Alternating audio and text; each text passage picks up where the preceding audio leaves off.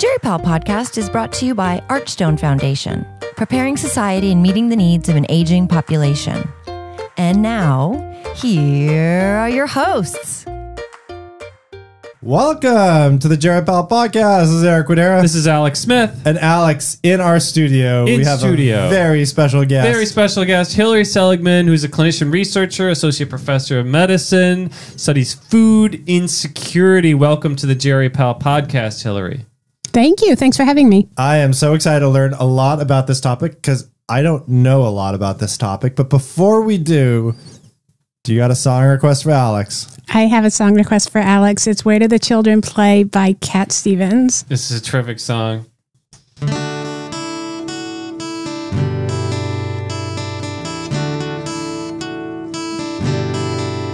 Well, I think it's fine building jumbo planes,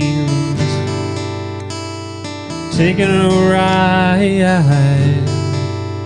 on a cosmic train. Switch on summer from a slot machine.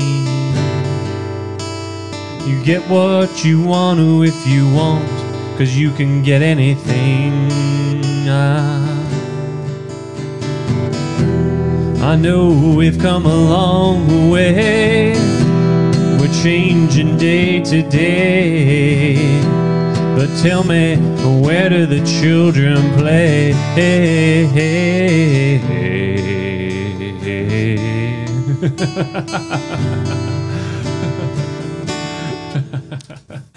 Usually, my I get stretched like the last Hotel California with really high songs. This one really gets the lower uh, end of the register.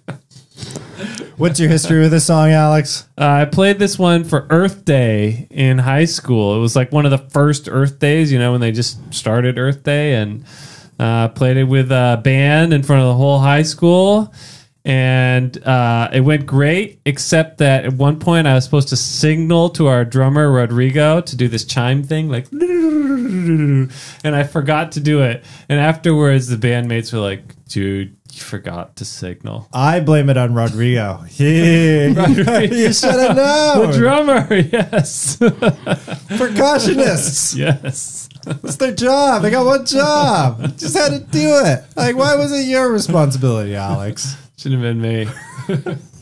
So, um, Hilary, uh, can I ask a really stupid question to begin with? Go for it.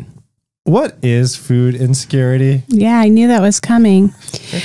You know, the USDA defines food insecurity as the uh, lack of access to enough food for an active, healthy life, which doesn't exactly get to the way we conceptualize it in the US. In the US, it's a lot, at least in the way we measure it, about lack of money or other financial resources for food but there's a lot of other things in in life that makes it difficult to access food and these tend to occur with food insecurity. So we think about them often in the same bucket. These are things like uh, my dentures don't work well so it's challenging for me to eat. It's difficult for me to get to the grocery store. I don't have the capacity to prepare a meal from raw ingredients. All of these things often particularly in older adults tend to occur together and so we often treat them in one big bucket. And my question is, um, this this is obviously has face validity as a serious problem, right? Food insecurity. Um, is this something that you know most of our audience are clinicians, right? Doctors, nurses, some social workers, some chaplains. Is this something that belongs in the clinical sphere? Is this a health issue? Yeah, we are just now starting to understand the profound clinical implications that food insecurity has. And one of the ways we think about it is all of the mechanisms through which food insecurity has an impact on your health. The first place people always go is is in the quality and the quantity of the food you eat because we know when your food budget gets shrunk to very, very, very little. People compensate by changing the amount of food they eat. They eat less, obviously, but they also concentrate their dietary intake on foods that are very inexpensive, which tend to be very low in nutrients, very high in energy. So these are foods that you would think of as being likely to lead to obesity or diabetes or high blood pressure because processed foods tend to be high in salt. All of that is true. And so we know that food insecurity is linked with health outcomes that way.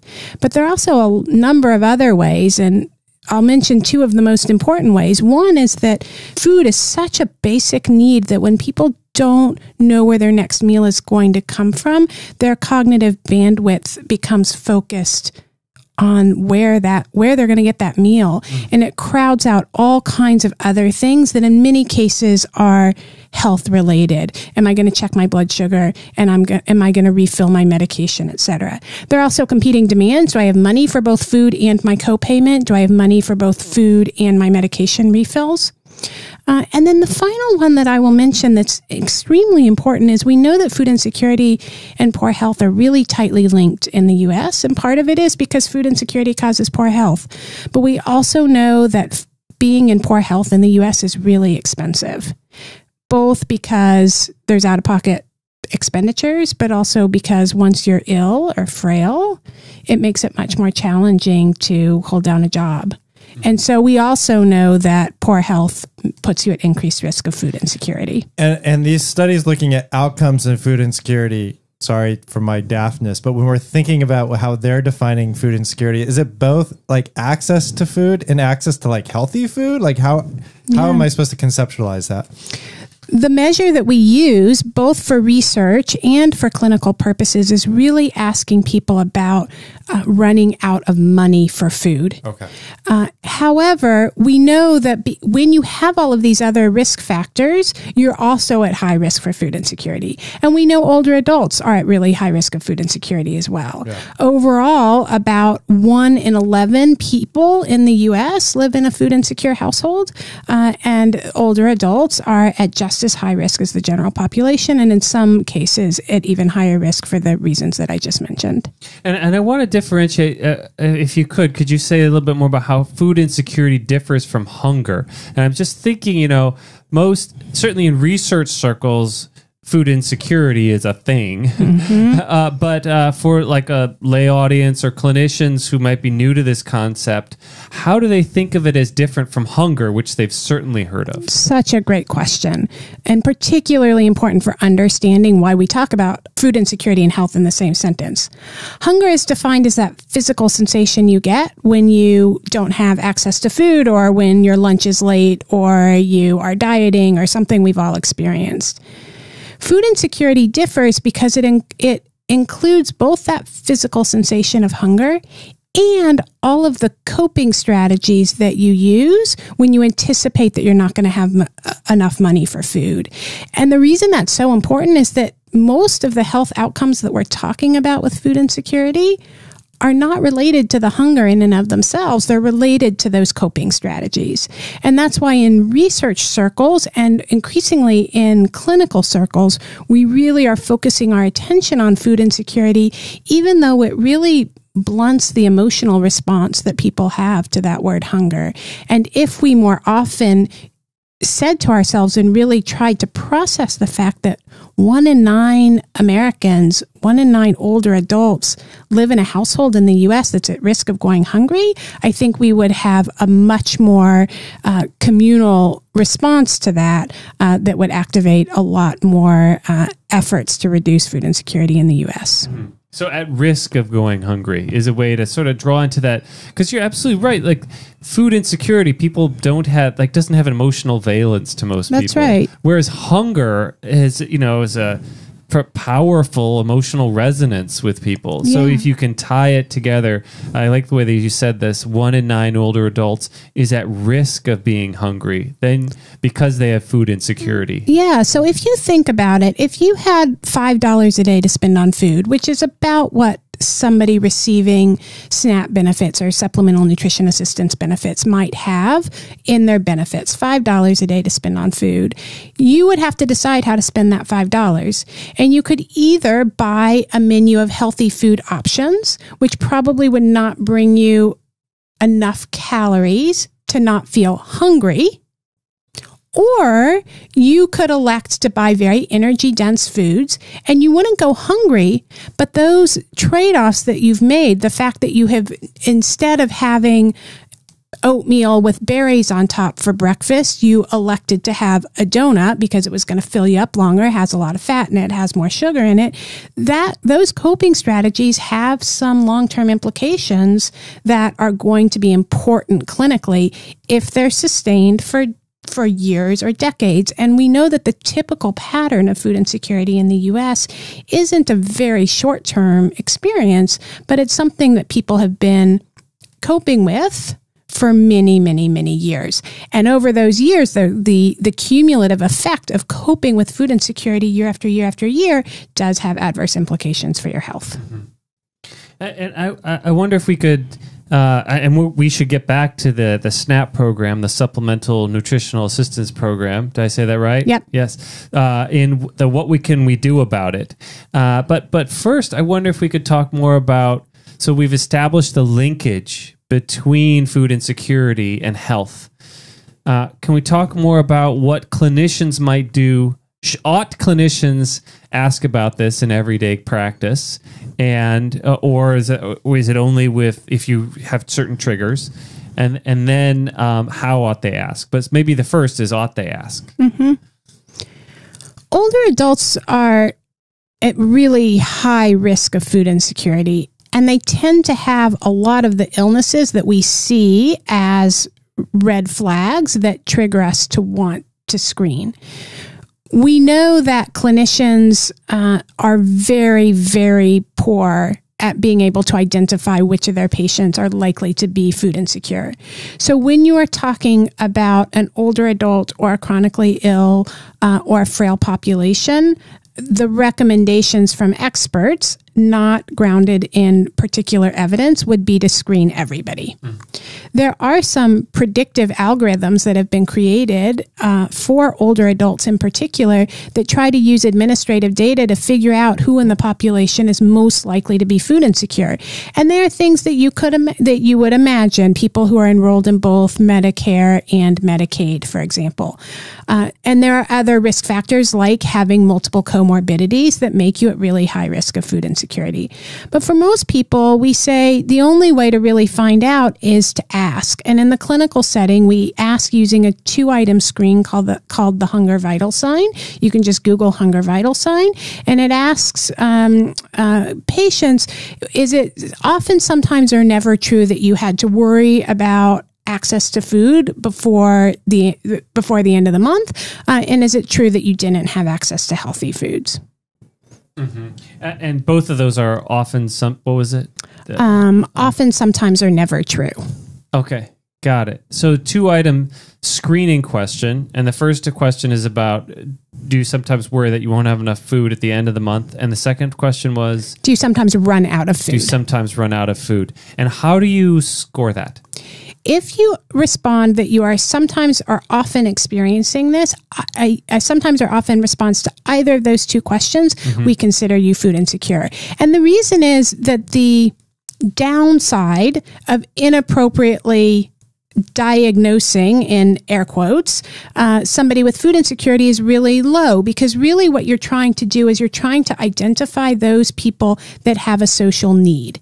And that need is an emergent or urgent need for support with food. Mm-hmm. because those are the people for whom you want to invest the time clinically to try to connect them with food resources either in the community or federal food resources so who like in a in a medical practice, whose responsibility is this? A to screen and, and to do anything about it. Like in, in med school, I was never really taught anything about what to do about food insecurity. I was taught about weight loss, diagnosis, trying to work it up, get your thyroid levels checked, all those other things. But like, what am I supposed to do as a practitioner if they scream positive? Or do I just send them to the social worker if there is one? So first of all, there have we've had a lot of experience with different people in the practice doing the food insecurity screen. And your question is really should should the physician or the or the nurse practitioner be doing that clinical screening. And it turns out that um, people are more comfortable and more willing to reveal their food insecurity when it's not the physician who does the screening. And the further away it is for the physician, the more likely people are to reveal it. So, more likely with the nurse, even more likely with the nurse's assistant, and maybe even most likely with the front desk staff that's Really? checking you in. So, what we say is absolutely no need for the clinician to do the screening, but a really important need for the clinician to follow up on a positive result. Wait, but, but why do you think that is? That the further away they are from the clinician, the more comfortable they are asking this question. I think it's the power differential uh, that we that enters the room, even among those clinicians who are most good at building rapport. There is always a bit of a white coat effect in the room, whether we want it or not. Uh, and the farther we can get away from that. So, food insecurity historically um, has been viewed as very stigmatizing. And there's been a lot of work to ask patients do you want people to talk to you about this in the clinical setting or do you feel stigmatized by it? And invariably, patients say, I am glad my provider knows about it. I am glad we talked about it. And clinicians say, I understand something about this patient that I didn't understand before that is important for our clinical encounter. So, good research has shown that it's not stigmatizing to discuss it. And it's not stigmatizing and can even be helpful for that discussion to happen by the clinician. But the screening process itself still makes patients often feel very uncomfortable. That's interesting. So uh, let's say that uh, patient comes, in, ger- geriatrics clinic, patient comes in, front desk, they screen this patient, they screen positive, they let the clinician know. How ought the clinician enter into the conversation with the patient about this? Mm-hmm. There's a number of ways to enter it depending on what's on the table for your conversation today. So there's a couple of different responses that people can have. One is around medication non-adherence and picking up prescription resources. And one way to enter uh, prescription refills, one way to enter this conversation is to talk about what kind of choices patients are making when deciding whether to put down a copayment for a medication refill or even in deciding whether or not to show up for a follow-up appointment. So that's one way to enter the conversation. The second way to enter the conversation is around diet. So many of us with long-term relationships with patients have had conversations about what you eat. And when you understand that a patient is food insecure, it adds a completely different valence to those conversations. Hmm. Because what you might recognize is, well, you know, all my attempts to ask this patient to transition from white rice to brown rice? Like why why is that so difficult? It's one little thing. Or to step away from um, from tortilla chips and replace them with some vegetables. Why is this so difficult? When you put that in the context of this being an economic strain on a very limited food budget, and I ask people to always go back to thinking to yourself, it may be $5 a day that people have to spend on food, then you can start reaching your patient in a new way hmm. because then we understand some of the really tremendous impacts that these requests for dietary changes might be having on the household food budget. And we may actually have to step away from some of those dietary recommendations because they can feel disempowering and frustrating for people who don't have the financial capacity to do them and instead focus on things like portion sizes.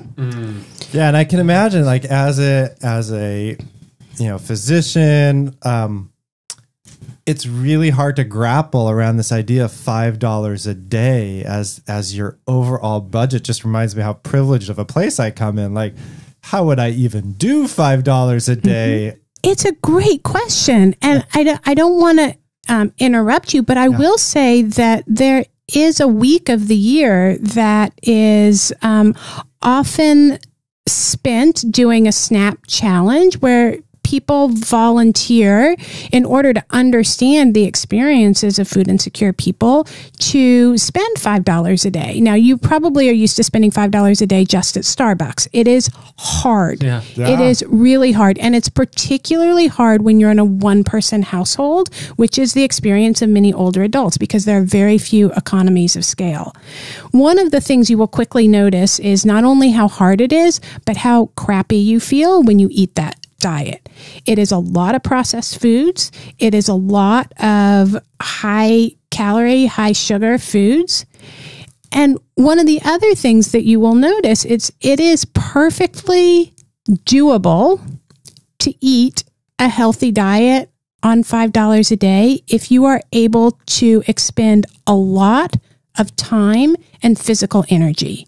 And time and physical energy are two things that are also in extraordinary short supply among all adults in the US. So how does time and energy? What's the how, how do you because raw meals? ingredients are much cheaper. Okay. And so the the more you're able to do that processing yourself, the more you're fine with buying the whole chicken instead of the Yeah. chicken parts, the more you're the more you're able to make your own, you know, soak your own oatmeal overnight, soak Yeah. your own beans overnight. The more the more you can do all of that, the cheaper your meals become. And get it in But it takes a lot, uh, a lot more energy, a lot more planning, and a lot more bandwidth to do that. And again, cognitive bandwidth is not something that um, a food insecure household has a lot of left over because there's a lot of energy being put into other things. I like this idea of the snap challenge. Do you know approximately what time of year? Okay, we'll look that up. We'll put a link to it in our in uh, the uh, the post associated with this podcast on our GeriPal website. Um, I wanted to turn, if we could, um, to okay. So the clinician is entered is entering into a discussion, uh, you know, perhaps around you know medications, choices they're making, noticing they're not getting refills, uh, around around this issue of food insecurity what can clinicians do to help patients who are food insecure? The best thing for a food insecure patient is to connect connect them with SNAP. And there is really high rates of uh, people eligible for SNAP who are not enrolled in the older adult population. Can you give me a one liner what SNAP is? Yeah. SNAP is the Supplemental Nutrition Assistance Program. It is a federal nutrition program that used to be called the Food Stamps Program. So you can think of it as food stamps, but the name was changed primarily because the food stamps word carried so much stigma with it. Yeah. It is not now delivered through actual food vouchers or food stamps. It is an electronic benefits card that looks much like a Visa or MasterCard that you can use at the grocery store for any uh, non prepared food ingredients. And who's eli- eligible for SNAP? The eligibility criteria vary from state to state, but in general, people who are citizens of the United States and whose incomes are below 130% of the federal poverty line after certain deductions mm-hmm. are eligible. Now, it's key in the older adult population to realize that the medical expenses that can be deducted from your income, the, the list of acceptable medical deductions is very, very, very long. And so older adults with incomes that are higher than 130% of the federal poverty line are often eligible for SNAP benefits as well. Uh, so let's say a patient is eligible. Um, what is the process of helping that patient um, uh, obtain? Well, how do they find out? Do, do we refer them to a social worker? Where, what, what is the process of getting your patient enrolled in SNAP? SNAP benefits are administered at the level of the state. So the exact criteria and the exact processes are different for every state. So here, going online is your friend. In many states, you can initiate the process online, which is great if you have the capacity to support that work in the clinical setting, uh, particularly because uh, you know we are often much more savvy with computers than our patients are. In some states, the entire application can be completed online, including or by phone, including the actual signature of the application, and then the and then the benefits card arrives in the mail. Great. And it sounds like SNAP is helpful for those people. Maybe gives them some a, a little bit of supplemental to pay for some of this food. For a lot of our older adults, it's access. Like they just maybe can't Yeah. get to the grocery. Are, are there things that we So- can do for those individuals? Yeah, we so we think of four buckets of the way that a food insecure person gets food. And the first two are things that we don't tend to think about as clinicians at all, but they're the most important for our patients. And that is moving food around in your food budget. For example, I'm not going to check my blood sugar this month because I can't afford more strips. I'm going to buy food instead. And relying on family and friends or your informal support network, which is, which sometimes is is a very long term coping strategy for people. When those two coping strategies have been exhausted, then people tend to have to move outward into the community. And there's two buckets then. One is the federal nutrition programs, and, and SNAP is the most salient for older adults, but also the um, uh, food that comes, for example, through the um, the adult food program that provides food for congregate meals comes through the federal nutrition programs, also paid for through the Farm Bill, just like SNAP, uh, and other federal nutrition programs like that. And then the fourth bucket is the charitable food system. And the charitable food system includes home delivered meals and medically tailored meals and um, other uh, food banks and food pantries that for somebody who is physically able to pick up groceries and bring them home can be accessed as well. And the home delivered meals, those are like meals on wheels. Exactly. so we've got c- clinicians um, who may be able to refer to SNAP, may be able to uh, explore with their patients about the difficult choices they're making. Um, is is is you know this five dollars a day in supplemental um, resources just seems like so little. Is there anything that uh, what are we, what are you advocating for as far as policy change at this time? Is SNAP threatened? Ought the amount of supplemental nutrition assistance be higher than five dollars? Are there other things that are we could be doing from a policy and programmatic perspective? So many good questions in there. First of all, $5 a day isn't a lot, but it can go a really long way in a household that is food insecure. Uh, and that $5 a day may actually double people's food budget or may triple their food budget that they currently have available.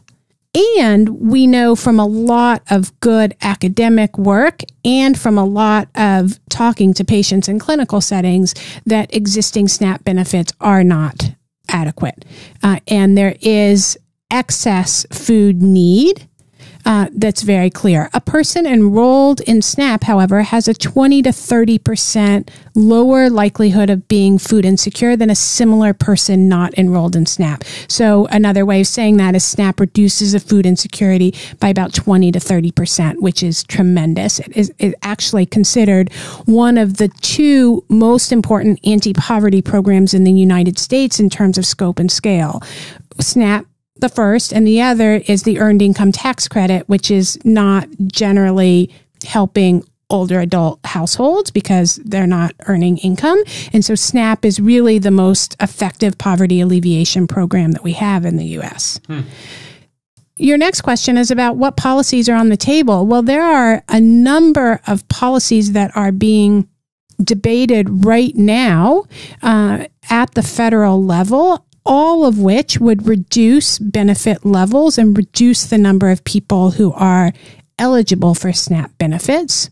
At the same time, there are state efforts to try to do the opposite in some cases. And some of these are particularly relevant for older adults. For example, there are efforts to make the SNAP application more streamlined in some settings for older adults.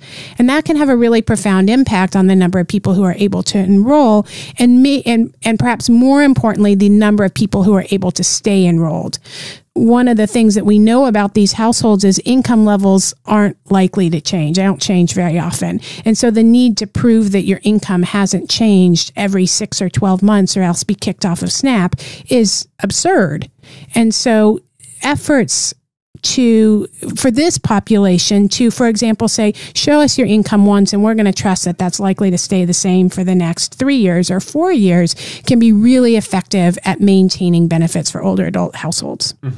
It's it's interesting that there's this tension, uh, you know, on this policy point here between the federal, what's happening at the federal level, um, and what's happening at the state level. SNAP is a federal program, right? But the eligibility and uh, application process are decided by the states. Do the states contribute at all? Is it like Medicaid, where there's a federal portion and a state portion? Yeah. SNAP is an entitlement program. So if you meet basic eligible cr- eligibility criteria, you are entitled as a citizen to the United States of the United States to SNAP benefits, which makes it very unique among many of our social programs. The federal government pays for the dollar value of the SNAP benefit plus half of the administrative costs. So, what the state puts in is relatively low. And that means that states have enormous economic incentive to help people enroll if they're eligible in the program. In addition, and this is very underappreciated but very important, every dollar in SNAP benefits is uh, assumed to have a dollar and 90 cents of direct economic activity in the community because that dollar is spent immediately, has to be spent within a month generally. It's spent locally and it's spent on food, which has a whole production chain behind it and a whole a whole host of people who have contributed to the production and processing and delivery and transportation of that food. And so it's a it is of economic benefit to the states to help people maintain their enrollment. But SNAP is by far the largest portion of the Farm Bill. And so any efforts to reduce our spending on the Farm Bill get very quickly uh, pushed up against the, um, the desire to kick people off of the SNAP rolls. And outside of SNAP, are there other things that cities or states are doing that you think are really interesting or novel to help with this issue around food insecurity, especially if it's around older adults? Yeah, the um, a lot of local communities have responded to the inadequate benefit levels in SNAP and the fact that a lot of people who are food insecure are not eligible for SNAP by creating their own local voucher programs. We run one ourselves in San Francisco called Eat called in other places Vouchers for Veggies. And essentially, this allows local funding to help meet what we call the SNAP gap, like what's left over after you get all your SNAP benefits and, and you still don't have enough money for food. And in many cases, those vouchers are good only for specific healthy foods like fruits and vegetables. I don't want to forget here as well that there are a lot of people who, uh, just aren't eligible for SNAP and they still are food insecure. And this is important for that mm-hmm. population too. People who are undocumented, people whose incomes are just above that eligibility threshold, um, and and other populations that are non citizens who are documented. There are a number of other populations who uh, who are really struggling to make ends meet to get food on the table, and yet uh, there aren't federal nutrition program options. It's great. Okay, I have two more questions. My first one is for Eric. Yes.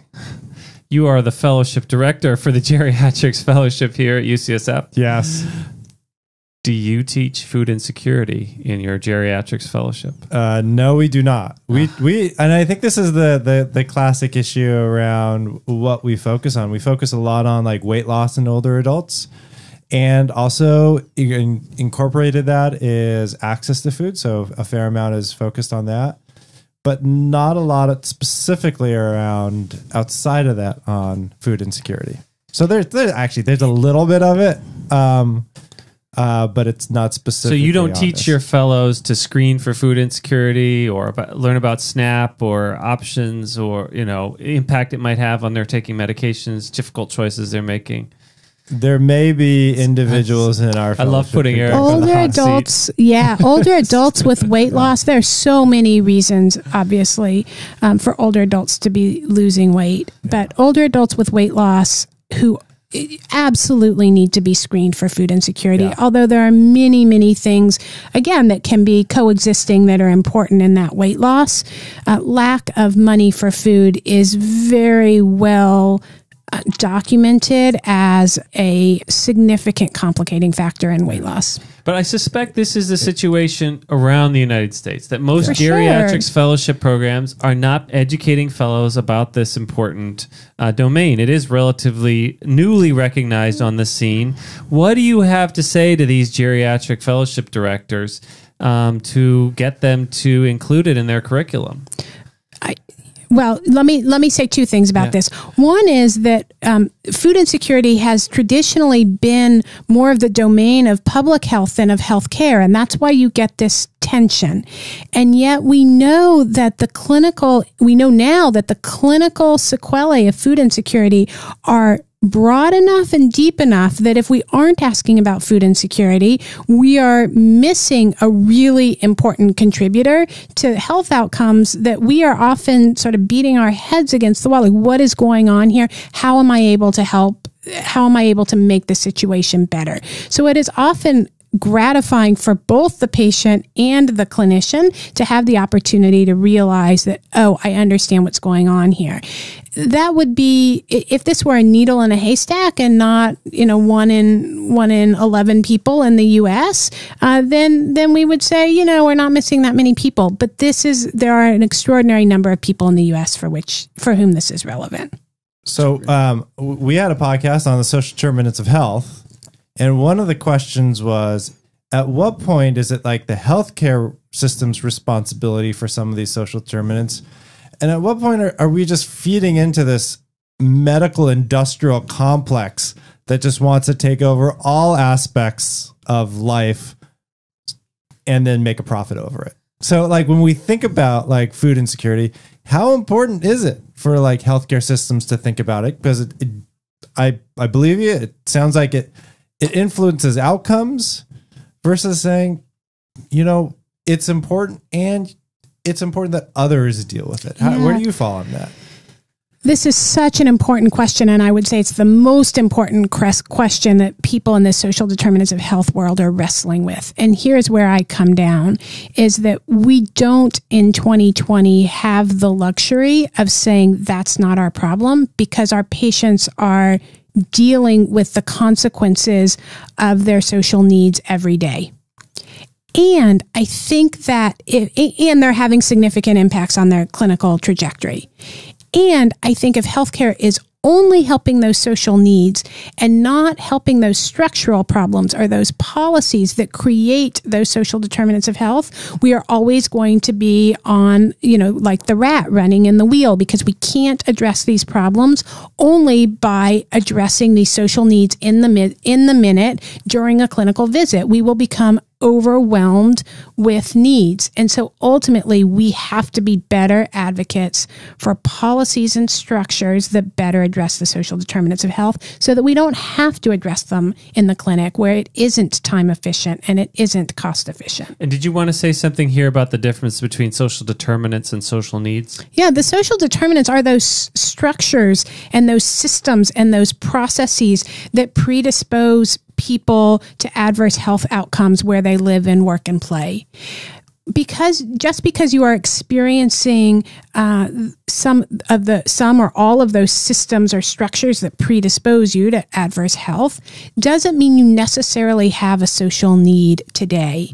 And the people who we really want to prioritize for for accessing the charitable food system or accessing SNAP benefits are those people who have a social need today. Those people who not only tell you that, th- that they're food insecure, that over the last 12 months they've worried where their next meal was going to come from, but those people who are saying, not only is that true for me in the last 12 months, but actually today I'm worried that I'm not going to have enough money to get me to the end of the week. Those are the people who have an acute social need. And that's where clinical care and clinical settings have to be at the table because if we're not, we are allowing our patients to develop acute complexity of their diseases that, that they don't otherwise need to be exposed to. Yeah, I mean, I, I always think back to like the, the heart failure patient. They come into the hospital. Yep. They're getting three meals a day. We're giving them low salt, like somewhat healthy, tasteless meals. Um, uh, and then we tune up their heart failure regimen perfectly to this inpatient low salt diet.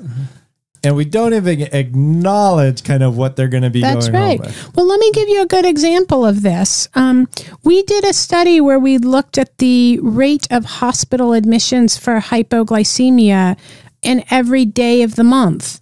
And, you know, wh- why on earth would your rates of admissions for low blood sugar be any different on the first of the month as on the 12th of the month or the 27th of the month? And actually, that is true if you look across our state of California. But if you separate out just those people living in the lowest income zip codes who are most likely to be food insecure, their risk of being hospitalized for low blood sugar is 27% higher in the last week of the month. So we, we say to ourselves, ah, that can't really have an impact in the short term. It can for somebody with diabetes and it can for somebody with heart failure. Okay, I'm going to ask one question. All right. Dr. Smith sees patients in the hospital. Dr. Smith, you're on consults Putting right me now. on the hot seat. yeah, Ozzy. Uh, how many of your patients screen positive for food insecurity that you I saw? have no idea. You're going to have to come back and we tell didn't us. screen them. But this is a good question. This gets. I was going to ask a similar question on the Pally end Well, side actually, side let of me Jerry say Powell. the Uh-huh. Medicare total health assessment now uh, has a two item screen for food insecurity so that older adults are getting at least theoretically screened once a year for food insecurity. as part of their annual visit. yes. Yeah. And we just did a podcast with William Dale on geriatric assessment in Uh-huh. oncology and nutrition, which should include food insecurity, should be part of a complete geriatric assessment. Absolutely. On the palliative care assessment. Right. On the palliative care end of the spectrum, I want to ask: Have you? Is there anything about? We've talked quite a bit about geriatrics, outpatients preventing longer term harms like uh, hyperglycemia, et cetera, longer term preventative issue. How about for people who are living with serious life limiting illness or nearing the end of life? Is there anything Yeah. about food insecurity in those populations? I'm going to answer that by answering the opposite, which is um, ironically, if you look at the older adult population, the the within that older adult population, the people who are most likely to be food insecure are actually the youngest of the older adult population. And there's been a lot of trying to figure out why this is. And the reason is because clinicians and clinical support and communities and social workers, et cetera, often address a patient's food insecurity as they get more frail without even realizing it. And the the reason why is we the trigger for connecting with a home delivered meal, for example, is around frailty, not around food insecurity, or is around uh, you know referral to hospice for a, uh, a terminal diagnosis, and not around food insecurity. But all of these interventions that we put in place as people become more frail often are the fix. And i and i think it's really important for people to understand that we are very good in some situations in addressing this problem. We just have to get better at it. Mm. And we have to get better at doing it early in a disease course rather than really late in disease course when people sometimes have other resources that they can bring to bear mm. like enrollment in a hospice program. Now once you're talking about enrollment in in a hospice program or, or a terminal diagnosis the issue that we come up against there is that people often take a terminal diagnosis as an opportunity to reflect on their eating. And we're mm-hmm. often instructing people in that setting mm-hmm. to make very expensive changes in their mm-hmm. dietary intake both to help treat their disease but also because we are often treating the side effects of disease with specific foods, particularly in a cancer setting. So, for all of these reasons, as people get terminal diagnoses, their desire to spend money on food goes up. Yeah. And so it Yeah. becomes more stressful for people to be food insecure. Absolutely. Yeah. And I don't think it's something that in palliative care, you know, we could ask uh, Tom Reed, our uh, palliative care fellowship director, the same question. Um, or Lynn Flint, who's the GeriPal fellowship director, same question. I suspect they're not uh, teaching this uh, clinically. And I think, uh, as we've heard, a compelling arguments today, the pendulum needs to shift there. I Here, agree. here. Questions? Yeah.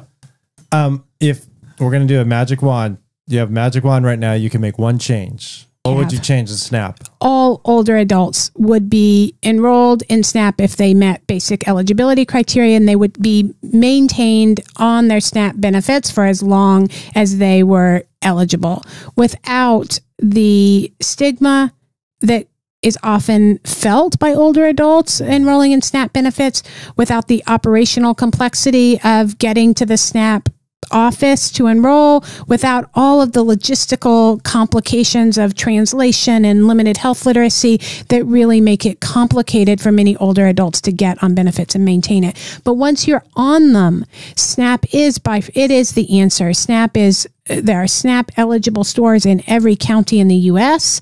There are SNAP offices in every state in the U.S. Uh, and so that is really the most cost efficient answer we've got. Great. Great. Well, Hilary, I want to thank you for joining us on this podcast Thank today. you so much, Hilary. Thank you for inviting me. But before we leave, Alex, I know he wants to do a little bit more. A little bit more Cat Stevens.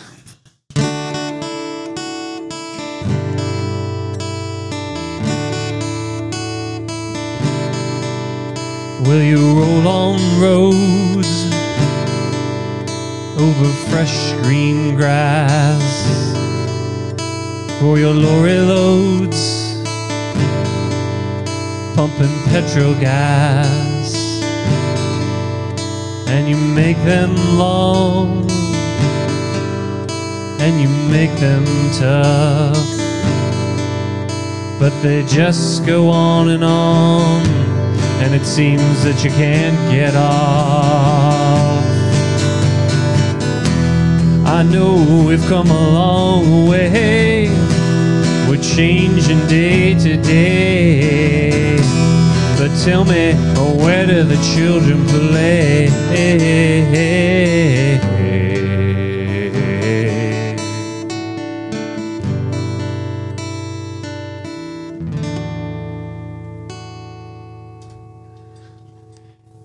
And with that, again, Hilary, big thank you. Big thank you to all of our listeners. If you have a moment, please, if you haven't, rate us on your favorite podcasting app. Thank you to Archstone Foundation. Thanks again, Hilary. Thank you guys. It was fun.